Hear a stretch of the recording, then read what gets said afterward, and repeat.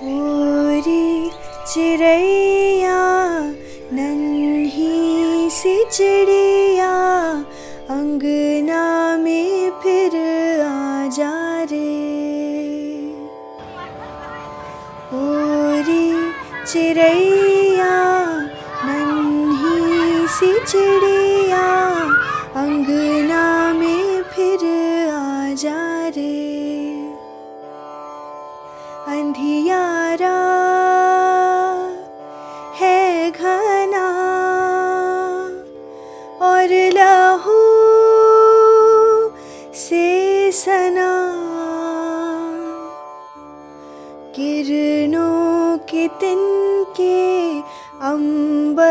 से चुन के अंगना में फिर आ जा रे।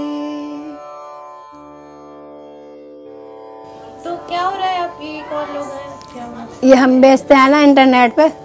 जाता है ना? इसलिए ये लोग पूछ रहे हैं कि हाँ ये कैसे जाता है? क्या होता है? कैसे आपका माल बिकता है? हम शादी करके आए हैं, हम बनारस से। हमें बहुत परेशानी हुई। यहाँ पे आए आए तो शादी करके। तो हमारा आदमी भी हमारे साथ नहीं थे। सास ने भी मैं बहुत परेशान करी, बहुत परेशान करी। इतना कि मुझे ये कहें, ये तो घर छोड़ के चल तुम्हारा कोई हक नहीं बनता। तो मैंने अपना बच्चे बच्चे थे, बच्चों के साथ लेके कहा, जाऊँ मैं। तो मैंने कहा, भाई तो यहीं पर होंगी। फिर हमारे पड़ोस में एक लड़की आई। लड़कियों ने कहा, क्या कहते तुम्हारे साथ इतना अत्याचार हो रहा है तो तुम कहीं कुछ कंप्लेंट नहीं कर सकती? मैंने कहाँ, जाऊँ कंप्लेंट करने के लिए।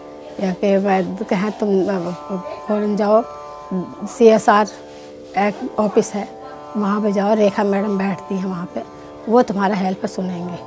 तो वो हमारे, उनके पास गए कि तो फिर मैं वहाँ गई तो उन्हें तो उन्हें पकड़ के मैं बहुत रोई। रोने के बाद में बहुत रोई, फिर उन्होंने मुझे चिपका लिया। जैसे अपना सगा क्या कोई चिपकाएगा, ऐसे चिपकाया मुझे। फिर सारी बातें सुनी उन्होंने। फिर सुनने के बाद में फिर यहाँ पे इनके पास खबर किया। कि हाँ क्या कहते हैं खबर किया इनके पास कि तुमने ऐसे बहू के साथ क्यों सताया जा रहा है, क्यों सब बहू के साथ ऐसे कर रहे हो? मैडम के पास गई मैडम ने हमारी सारी बात सुनी। सुनने के बाद में फिर इनके पास मेरे फिर मुझे थोड़ा सा हिम्मत हुआ कि हमारा कोई है, हमें कोई पकड़ा है, पकड़ रखा है। फिर उसके बाद मुझे थोड़ी सी हिम्मत बढ़ी, फिर मैं रहना शुरू कर दी। फिर लेदर कंपनी में हम काम करने लगे तो जैकेट आता था। जैकेट का हम प्रेस करते थे। पाउडर डाल के एक केमिकल आता है, केमिकल पाउडर होता है, उस पर छिड़क के फिर उसे प्रेस करते थे। कहीं हाथ जल जाता कहीं हाथ जल जाता था, कहीं हाथ जल जाता था, कहीं हाथ जल जाता था। वहाँ से हमने लेदर कंपनी से थोड़ा बहुत हमने सीखा। फिर हमारे बच्चों से हमारे कहा, भैया, ये सब काम, थोड़ा सा काम सा करना शुरू करो तो बहुत अच्छा रहे।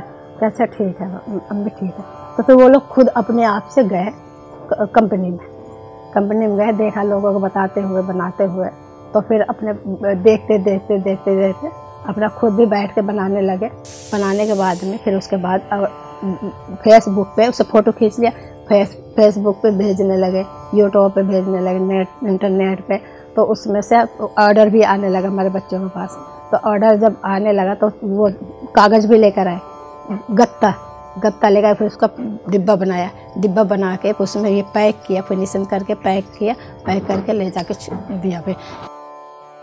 मैं खुद इंटरनेट खोलती हूँ यूट्यूब खोल के और जैसे जब मुझे नहीं आया यूट्यूब में जो आ गया तो उससे तो ले लिया मैंने। और जब नहीं आया नहीं आया तो मैं लिख के खुद दे देती हूँ। नहीं, जैसे अब तो फ़ोन तो आ ही रहा है। फ़ोन तो आ ही रहा है तो हम भी इतने पढ़े लिखे हैं थोड़ा सा कि हम इतना काम कर सकते हैं। पे हज़ारों सितम है किए। हमने तुझ पे जहाँ भर के जुल्म किए। हमने सोचा नहीं तू जोड़ जाएगी। ये जमी तेरे बिन किसके दम पे सजेगा मेरा मेरी 2012 में छठे महीने में शादी हुई थी। मेरी शादी को पाँच साल हो गए। और उसके बाद एक बच्चा है मेरा ढाई साल का। मेरा हस्बैंड एक्सपायर हो गए बीमारी के कारण। उनके दिमाग में ब्रेन टी हो गया था। तो नस फट गई थी उनकी उस वजह से उनकी डेथ हो गई। उसके बाद डेथ होने के बाद मैं यहाँ पे आ गई थी मम्मी के पास। आठ महीने से मैं यहीं रह रही हूँ। और मुझे वहाँ से कोई रिस्पॉन्स नहीं मिला। ससुराल वालों की तरफ़ से ना कोई खर्चा, ना कुछ। उनका फ़ोन भी नहीं आता। वो लोग पूछते भी नहीं, मेरा पोता कैसा है, या बहू कैसी है। कोई नहीं पूछता। मैं बीच में बीमार भी हो गई थी। मेरे नंदेव का फ़ोन आया था। मैंने उसे बोला भी था कि मैं चार दिन हो गए हॉस्पिटल में एडमिट हूँ। ना वो लोग देखने आए, ना ये देखने आए कि उसकी हालत कैसी है। बहुत ज़्यादा हालत ख़राब हो गई थी मेरी।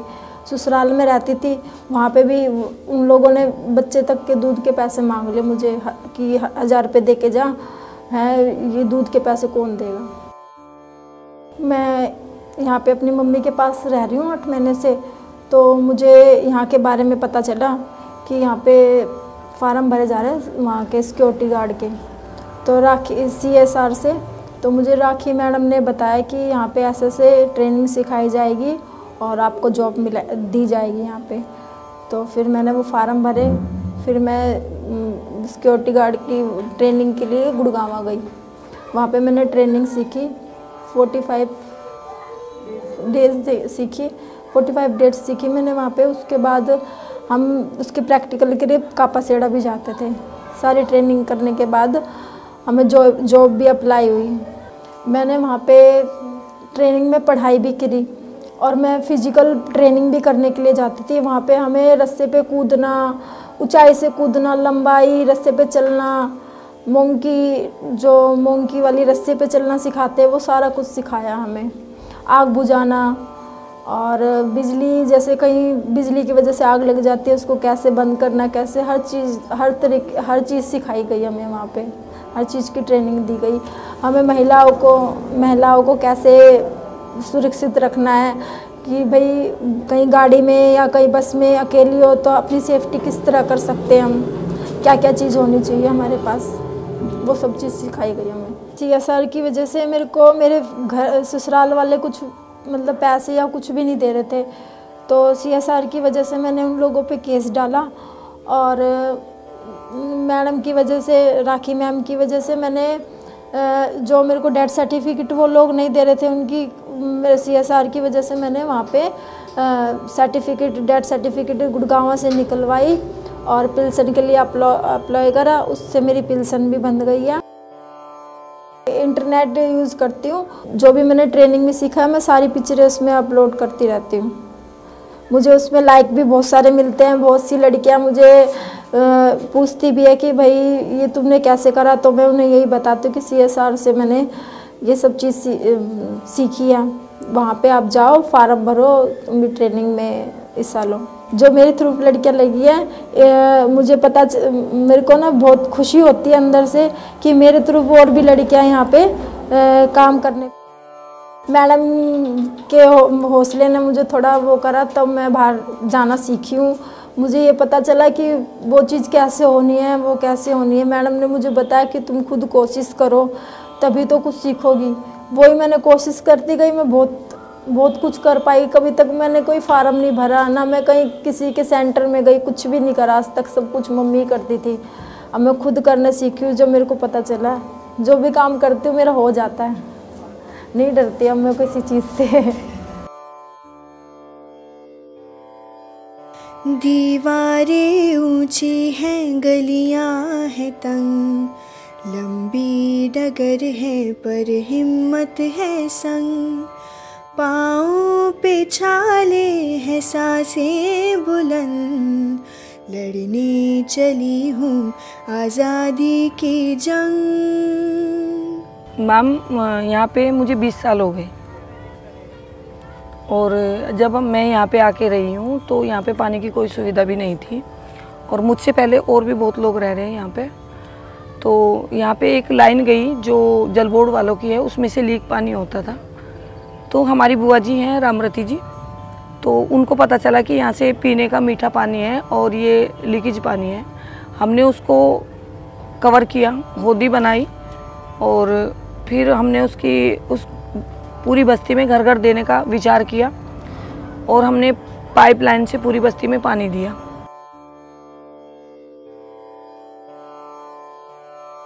फिर उसके बाद पूरी बस्ती में पानी जाने के बाद में हम जब बस्ती में घूमते थे तो जैसे कि औरतें दिन भर काम करती हैं और आदमी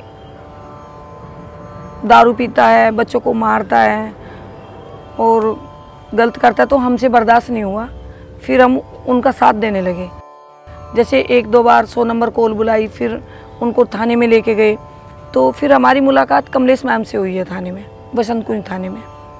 तो हमने मैम से बात की तो मैम ने बोला कि हम इसी विषय पे काम करते हैं, लेडीज़ों की मदद करते हैं। तो फिर चार साल से मैं सी से जुड़ी हूँ। मैं सिलाई करती हूँ और लड़कियों को सिलाई सिखाती भी हूँ। जैसे स्कूल से लड़कियाँ आती हैं और वो सीखना चाहती हैं तो मैं उनको सिलाई भी सिखाती हूँ। और कपड़े सिलती हूँ मैं।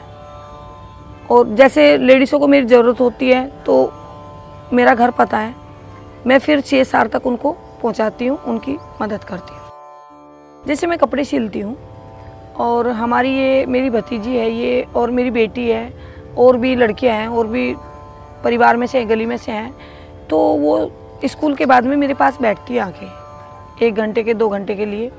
उन्होंने मुझे कहा कि आप अच्छे डिज़ाइन तो बनाते हो, लेकिन आप, हम आपको ना फ़ोन में से दिखाते हैं। आप उसमें से डिज़ाइन लो। जैसे कि मेरी भतीजी ने दिखा कि, बुआ जी ये बनाओ, ये डिज़ाइन बनाओ। तो इन्होंने मुझे दिखा तो मैंने इनको डिज़ाइन बना के दिया। तो उससे बहुत सा कुछ सीखने को भी मिलता है अच्छे अच्छे डिज़ाइन भी मिलते हैं। और मैं खुद बनाती हूँ, फिर मैं इनको भी सिखाती हूँ ये मैं तो यही चाहती हूँ कि हमारी जो बस्ती की जो लड़कियाँ हैं, ये इधर उधर खेलने कूदने से इधर उधर जाने से अच्छा कुछ काम सीखे, जो घर में बैठे सिलाई कर सके। इनको बाहर ना जाना पड़े और सिलाई का इतना अच्छा काम है कि घर में बैठे पैसे कमा सकते हैं।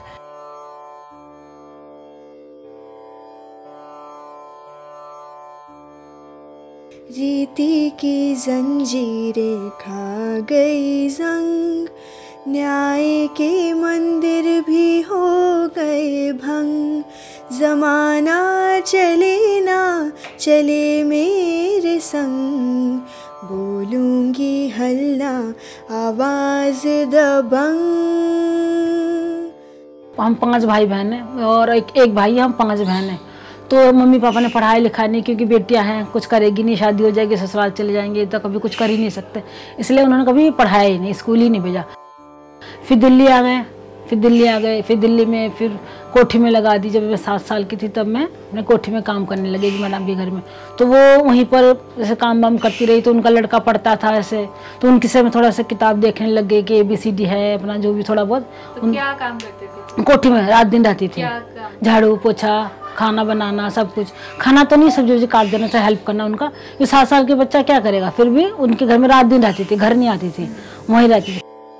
फिर जैसे मैं चौदह साल की मेरी एज हुई तो कभी स्कूल नहीं गई, कुछ नहीं गई, चौदह साल में मेरी शादी करवा दिया गया। मुझे गाँव लेके फिर मेरी शादी करवा दी मतलब चाइल्ड मैरिज जिसको कहते हैं, वो कर दिया। फिर घर में रहने लग गया, उसके बाद फिर बेटी हुई तो वो भी बहुत प्रॉब्लम से हुई। छः महीने की डिलीवरी प्रीमेच्योर बेबी हुई, फिर उसको भी एम्स हॉस्पिटल में रखना पड़ा। तीन चार महीना बच्चे के साथ मुझे भी वहीं रहना पड़ा। तो मेरे घर थोड़ा सा हिल गया मतलब कहाँ पैसा नहीं है, बच्चे का ऐसे हुआ, हालत ख़राब। उसके बाद फिर बेटी को लेके घर आई तो मेरे हस्बैंड बीमार पड़ गए। उनको पैरालिसिस का अटक हुआ था। तो वो भी मतलब तीन चार महीने बिस्तर में पड़े रहे। तो मेरी बहुत ही बुरी हालत। यहाँ बच्चा छोटा, वहाँ हस्बैंड बीमार, काम नहीं, कुछ नहीं। सेंटर वालों ने मेरी बड़ी हेल्प करी। उन्होंने मुझे बोला कि आप आगे बढ़ो पार्लर के काम करो। तो मुझे पार्लर इसलिए करना सही लगा कि मुझे लगता है मैं कर सकती हूँ। फिर धीरे धीरे और अपना क्लाइंट बनाती गई। जैसे पर्ची बांटा लोग घर जाके। बड़ी मेहनत करना पड़ा, साइकिल ले लेके इधर उधर घूमा। लोगों के घर जा जा जाके बोला कि मैं पार्लर के काम करती हूँ, आप मेरे से करवाओ, एक बार मेरे को ट्राई करो। फिर सबने दस कार्ड बांटा तो पाँच जने ने बुलाया, पाँच ने नहीं बुलाया। फिर मैंने यहाँ पर खजानी बू मैंने पॉलिटिक्स की वो है, वहाँ मैंने एड कोर्स किया था, एडवांस कोर्स पार्लर का। उसके बाद जैसे एडवांस कोर्स किया, उसके बाद फिर जैसे आजकल पार्लर का ऐसा एडवांस होता है, एडवांस करते करते करते करते फिर अब सेटल हूँ मैं। बेटी को फिर स्कूल में जब बेटी भी पाँच साल की हो गई, उसके सेंट्रल स्कूल में एडमिशन करवाया, कि सिंगल गर्ल है, उसके लिए भी मुझे गवर्नमेंट इसकी फ़ीस भी माफ़ कर दिया, कि भाई तुमने एक ही बेटी करा, और तुम्हें बेटे के लालच नहीं है। इंटरनेट भी मैं सीख रही हूँ, उससे ही मेरे को पता चल रहा है, ऐसे ही उसमें फेसबुक आया है फेसबुक से ही मुझे बहुत सारी मिलते हैं वीडियो आते हैं धीरे धीरे करके, उसमें वीडियो से मैं देखती हूँ तो उसमें फेशियल वेशियल हेयर स्टाइल मेकअप वो सब मैं सीखती हूँ उससे भी। मुझे उससे बहुत हेल्प मिलता है। अब ये मेरी बेटी मेरी बड़ी हेल्प करती है फेसबुक पर सिखाती है मुझे कैसे चलाना चाहिए, कैसे सीखना चाहिए, मैं करती हूँ। और फेसबुक से मुझे काफ़ी हेल्प मिलता है कि जैसे फेशियल वेशियल कैसे करना है हेयर स्टाइल कैसे करना है, वो थोड़ा उनको देख देख के करती हूँ। और सेंटर वालों ही मेरी बड़े, उन्होंने भी मुझे बताया था कि कैसे फेसबुक यूज़ करना चाहिए, कैसे चलाना चाहिए तो उनकी मदद पहले तो मुझे मिला था। मुझे कहीं जाना नहीं पड़ता, घर बैठे बैठे मेरे को उसमें वीडियो आ जाता है जो मैं देख के सीख सकती हूँ। उससे क्लाइंट भी खुश होते हैं कि नए नए तरीके से चीज़ दिखाते हैं हेल्प करते हैं। उससे मेरे क्लाइंट भी खुश हो जाते हैं, देखते हैं। काफ़ी चीज़ आता रहता है फेशियल का भी दिखाते हैं। जैसे मैं सर्च भी करती हूँ मुझे आता अब सर्च करना सीख गई हूँ। तो सर्च भी करके उसमें फेसबुक से दिख जाता मुझे फेशियल करना आईब्रो कैसे बनाना मेकअप हेयर स्टाइल सब कुछ। अब घर बैठे बैठे मैं कर लेती हूँ, सीख जाती हूँ कैसे करना, क्या नहीं करना। जैसे मैं स्कूटर चलाती हूँ, अपनी स्कूटी चलाती हूँ तो फ़ोन नहीं अटेंड कर सकती क्योंकि रास्ते में होती हूँ तो लोग मुझे व्हाट्सएप में मैसेज कर देते हैं। तो वो मैं बाद में देख लेती हूँ फिर। मुझे नेट चलाना आ गया अच्छा से अब।